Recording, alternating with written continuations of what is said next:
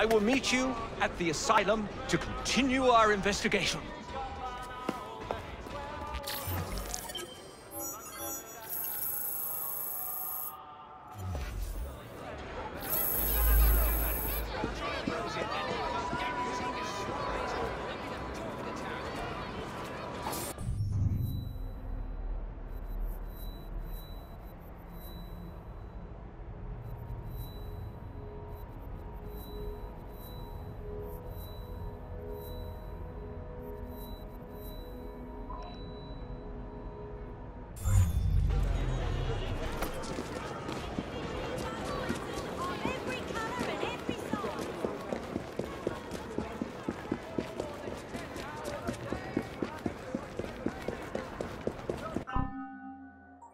Is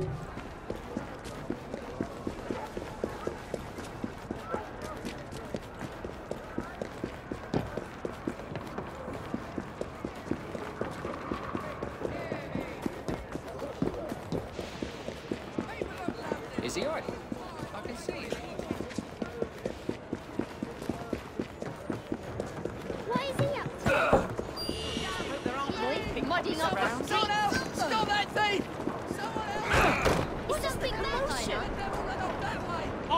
I'll break you in half! More trouble from the rabble, I expect.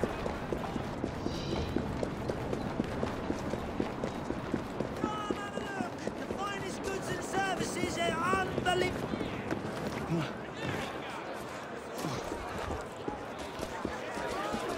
Get on the bridge. Do come back. Come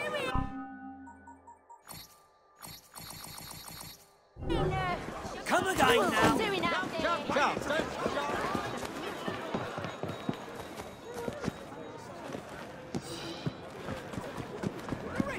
You see?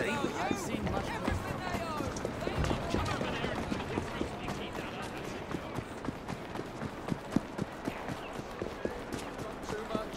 I've gambled.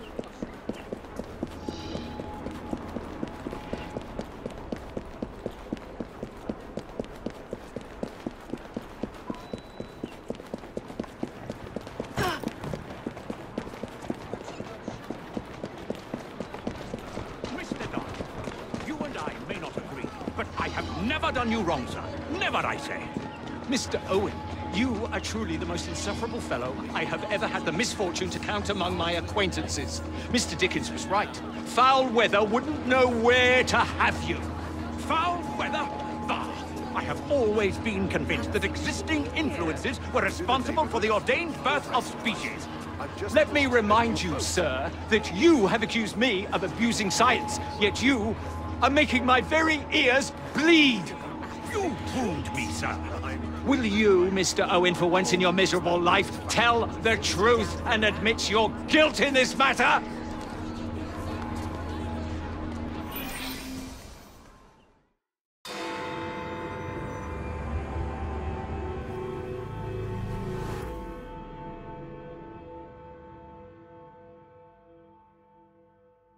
I have told you before, sir, I had nothing to do with that anonymous article. Nothing, I say. That is a lie, sir. And you know it. Bah, I don't have time for this nonsense. Nonsense! It is my name and reputation you have willfully besmirched, sir. My very name. Bah! drive, damn you, drive! Yeah. That is Richard Owen, a vile, despicable wretch of a man. Really? I could have sworn you were close friends. Mr. Owen works at the asylum. He will know who made the syrup. Get him!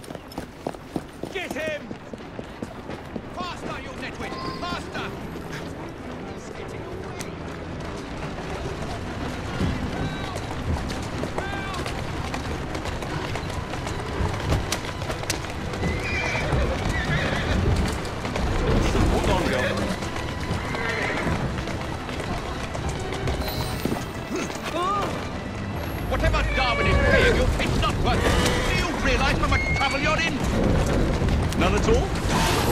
Bah! If you're trying to intimidate me, Ruffian, you're wasting your time. I've always wondered how much of a beating this type of vehicle could take. I just have a few questions for you, sir. Owen wants, I will not give in.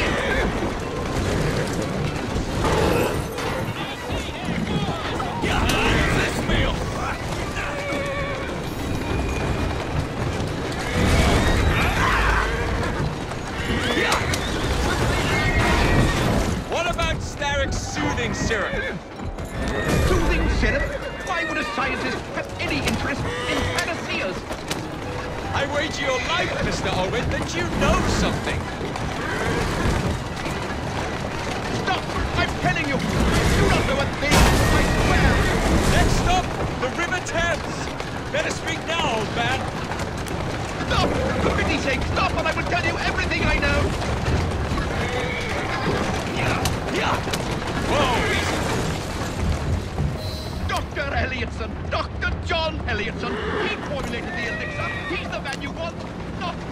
I beg you, good sir!